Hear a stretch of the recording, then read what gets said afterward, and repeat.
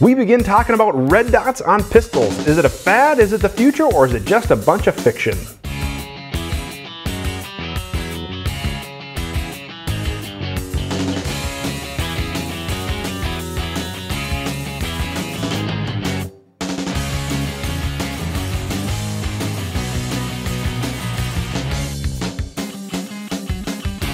Hey guys, my name is Dave Tim. Thank you very much for checking out this video. This video is the first of a series of what I'm anticipating where we're talking about red dot mounted pistols.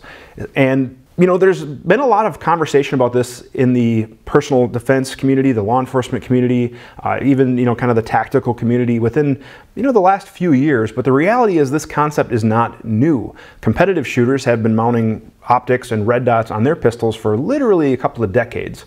And we're taking some of the lessons learned from that competitive, that shooting sports community, and we're starting to move them towards the personal defense, permit to carry holder, the law enforcement tactical markets.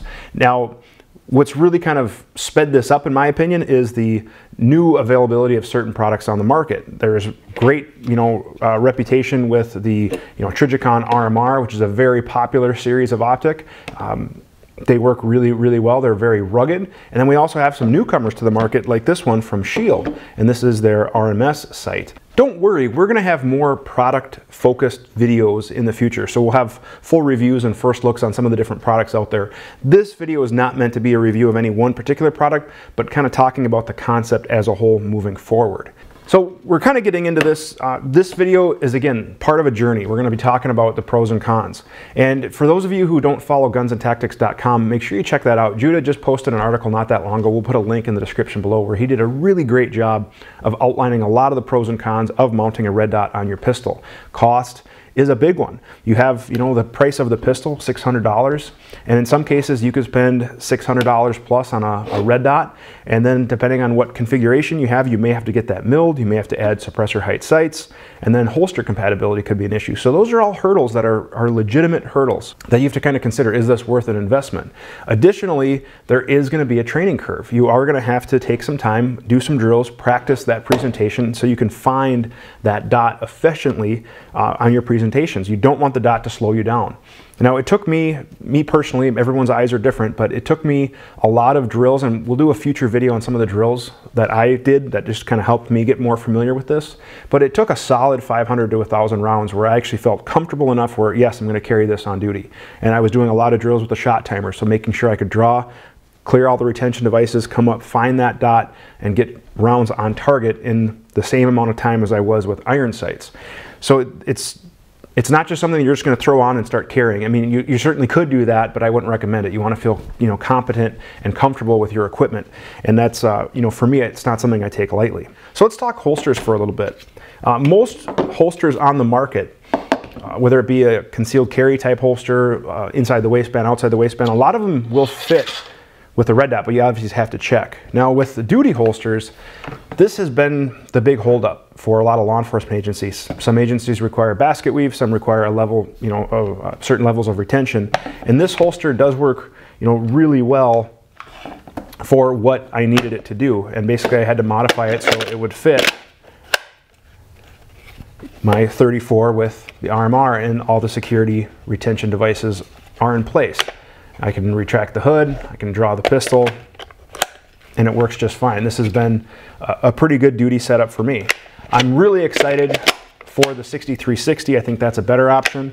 Um, the 6354, I know a lot of guys in the tactical realm are using this holster. It's a level one type holster. It just uses the ALS system, but it does protect the red dot uh, decently well. It doesn't, you know, shield it from the top as the 6360 will. It actually has a, a moving hood on it. But this is a good, good holster. It works out really well. It's fast to draw, works just fine. So I think now that the law enforcement community is going to start to have some options, I think you're going to see more law enforcement agencies adopt this. And I think we're going to see more permit to carry holders and private citizens adopt it because of the pros. The main pro is that I can look through the sight focus on my target and the dot is on my target. I don't have to focus on my front sight, have my rear sight a little fuzzy, have my target a little fuzzy depending on the distance. Now I can just simply present, look through the optic, see my target, focusing on my target and the dot is crisp right on the target. And I think that is a big pro. So is this the future? Is it a fad? Is it just a bunch of fiction? Well, I definitely don't think it's a bunch of fiction. I can definitely see advantages, especially at distance shooting. I was shooting um, this gun, my duty gun, at 100 yards on a piece of steel, and it was really, really easy to do. And I can shoot 100 yards iron sights, but with the red dot, I just noticed it was even faster and easier.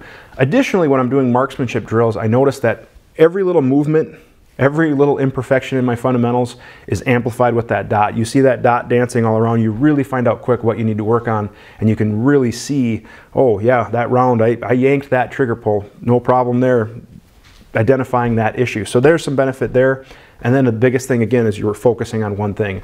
Similar to the, all the benefits that we've learned on the rifle, putting a red dot on the rifle, now we're going to start to eventually see these on pistols. So I think, yes, it's not a fad. I don't think it's fiction. I do think it is the future. It's just a matter of cost. Could cost pro, uh, prohibit a lot of people from adopting this? It certainly could. And you know, durability. Do we start to truly have duty grade optics? Even the RMR, which is a very ruggedized sight, you know, there's a lot of serious users out there who note that you know after about four to five thousand rounds it fails.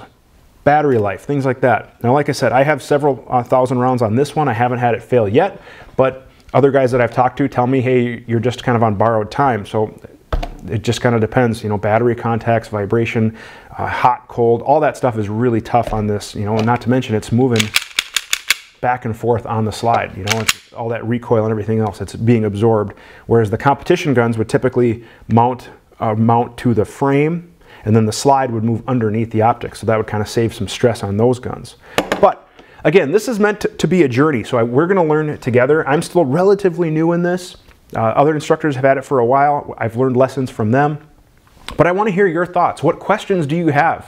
What videos do you want me to make about red dot pistols? What do you want to learn about? So if you have questions about red dot pistols, if you have questions about holsters for red dot pistols, if you have questions about drills for red dot pistols or whatever it is, make sure you leave a comment below and we will do future videos on those things. So I hope you found this video helpful and informative.